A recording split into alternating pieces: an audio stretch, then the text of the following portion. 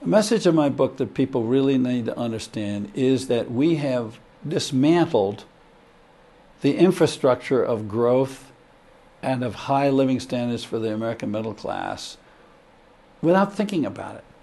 Because we, we, we thought that you could just let big companies and individuals go their own way, and if you add up all the individual effort, it's all going to work out fine. You got a guy like Andy Grove at Intel who ran Intel for 20 years saying you cannot rely on a large corporation or large corporations to build the nation's growth. They will each go after their own sector and each go after their own profit, and they will not necessarily add to the center, to the whole, to the growth of the country, the well being of the country.